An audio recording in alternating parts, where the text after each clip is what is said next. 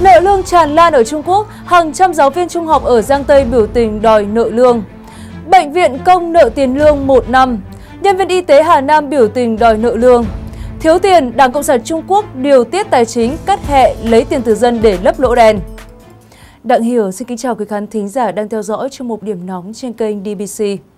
Kính thưa quý vị, như các bài trước nói về nền kinh tế Trung Quốc đang cạn tiền, từ sau vụ vỡ nợ của hàng loạt tập đoàn bất động sản lớn như Evergrande, kéo theo sự khủng hoảng tài chính của 180 ngân hàng, dẫn đến hàng loạt tài khoản tiền gửi của người dân tại ngân hàng nông thôn bị đóng băng do chính quyền cạn kiệt tiền do ảnh hưởng từ thị trường bất động sản sau loạt bài viết về các cuộc biểu tình đòi giao nhà, trả tiền của các chủ sở hữu mua phòng ở Evergrande, cho đến các cuộc biểu tình của chủ tài khoản tiền gửi bị đóng băng ở các ngân hàng nông thôn Hà Nam.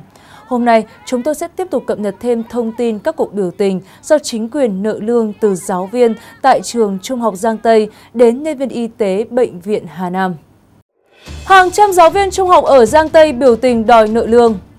Thưa quý vị, vào sáng ngày 2 tháng 11, các giáo viên tại trường trung học cơ sở Tiến Hiền đã đình công bãi khóa do nhà trường và chính quyền không trả tiền lương tại Nam Sương, Giang Tây.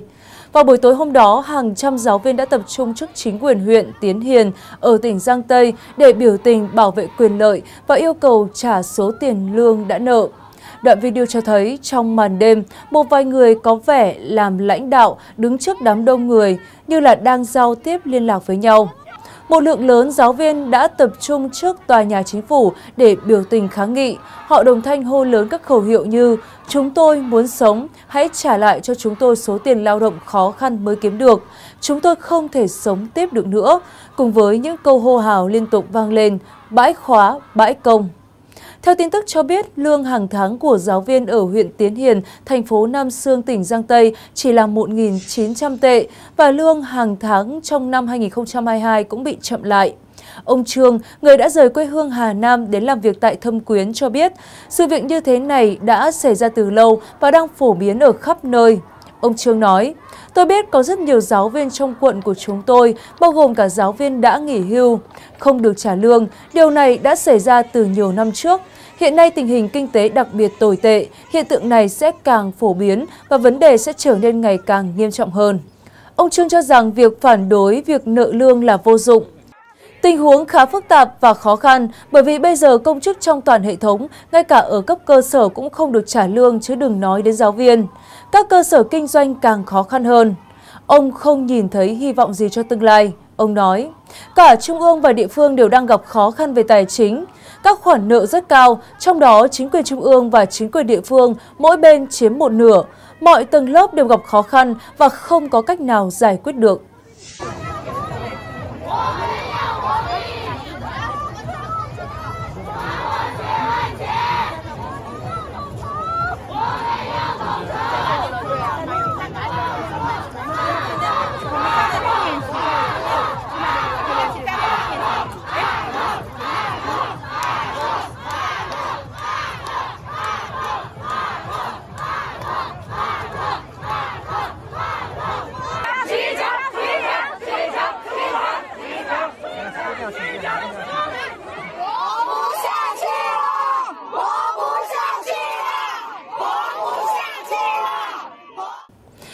Bệnh viện công nợ tiền lương 1 năm, nhân viên y tế Hà Nam biểu tình đòi nợ lương. Thưa quý vị, vào ngày 3 tháng 1, một bệnh viện chăm sóc sức khỏe bà mẹ và trẻ em ở Nhữ Châu, tỉnh Hà Nam đã bị nợ lương nhân viên hơn một năm. Các bác sĩ và y tá đã tụ tập kháng nghị bãi công để đòi nợ lương và bảo vệ quyền lợi của mình. Vụ việc trở thành chủ đề nóng trên mạng xã hội Weibo tại Trung Quốc đại lục. Truyền thông Trung Quốc đã gọi điện đến Ủy ban Y tế địa phương và nhân viên trả lời đơn giản là không có tiền. Theo tin tức của website võng dịch của truyền thông đại lục cho biết, Bệnh viện Sức khỏe bà mẹ và trẻ em Nhữ Châu ở Hà Nam là cơ sở y tế chủ yếu chịu trách nhiệm chăm sóc và điều trị sức khỏe cho phụ nữ và trẻ em. Hơn 500 nhân viên y tế trong bệnh viện đã không được trả lương trong hơn một năm và các khoản thanh toán bảo hiểm y tế và quỹ dự phòng của họ cũng chưa được thực hiện. Nhân viên y tế phải đối mặt với khó khăn tài chính và không thể trang trải chi phí hàng ngày và chi phí sinh hoạt. Theo Đài Phát thanh và Truyền hình Hà Bắc, một phóng viên đã gọi điện đến Ủy ban Y tế Nhữ Châu để hỏi lý do bị nợ lương và nhân viên đã trả lời rằng không có tiền. Phóng viên hỏi tiếp, vấn đề này giải quyết thế nào? Đối phương đáp, không biết. Theo tin tức của website Võng Dịch, do tỷ lệ sinh giảm hiện nay khiến hoạt động kinh doanh của bệnh viện sa sút, doanh thu của bệnh viện sụt giảm mạnh dẫn đến tình trạng thiếu tài chính, có thể là một trong những nguyên nhân chính dẫn đến tình trạng nợ lương. Đồng thời, việc quản lý tài chính và phân bổ kinh phí của Ban Quản lý Bệnh viện cũng còn nhiều nghi vấn và cần được xem xét thẩm tra. Tin tức khiến nhiều cư dân mạng ngạc nhiên rằng bệnh viện công sẽ nợ lương nhân viên một năm. Một số cư dân mạng còn để lại tin nhắn với nội dung Tôi là nhân viên công chức chính phủ còn bị nợ nửa năm lương đây. Các cơ quan công cộng 1-2 năm nay đã không trả lương rồi. Tập đoàn Bằng Vũ ở thành phố chú Mã Điếm, tỉnh Hà Nam cũng nợ lương công nhân gần một năm. Tại sao các cơ quan chính phủ ở khắp mọi nơi không thể trả lương? Chuyện gì đang xảy ra vậy? Nguyên nhân là gì? Vấn đề này chính quyền lãnh đạo có thể lưu ý được không? Bây giờ có nơi nào mà không nợ lương không? Sau khi nhìn thấy tin tức một nhóm người chạy xuống đất nông nghiệp cướp thu hoạch như vậy, tôi cũng không còn cảm thấy gì kỳ lạ nữa.